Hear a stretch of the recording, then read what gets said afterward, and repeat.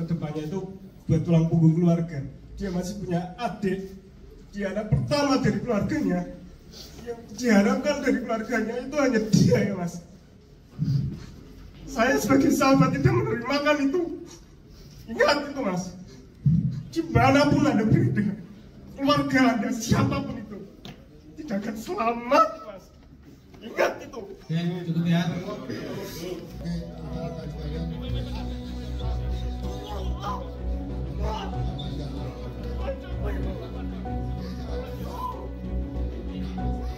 Ngapain selalu menerima kabar mana kabar nah yang bikin sekarang itu apa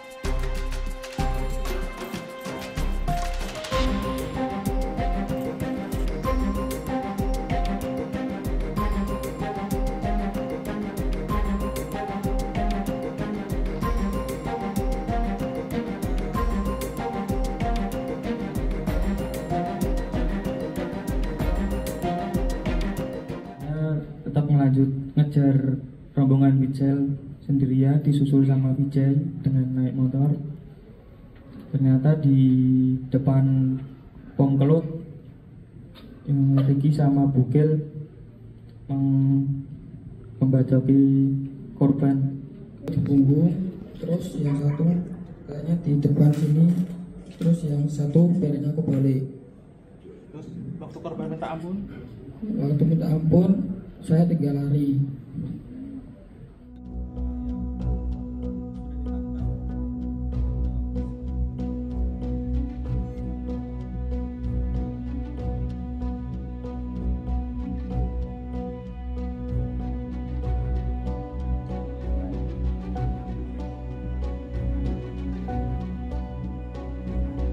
Sanksi sesuai dengan pasal 338 KUHP dan atau pasal 340 pembunuhan atau pembunuhan berencana.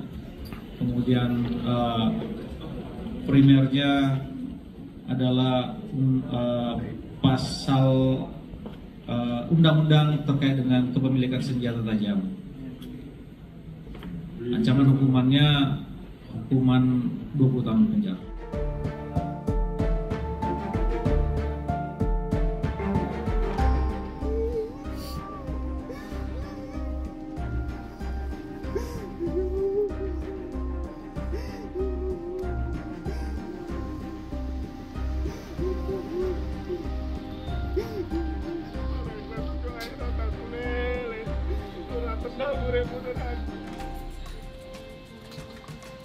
Ku ada tau tak lakoni.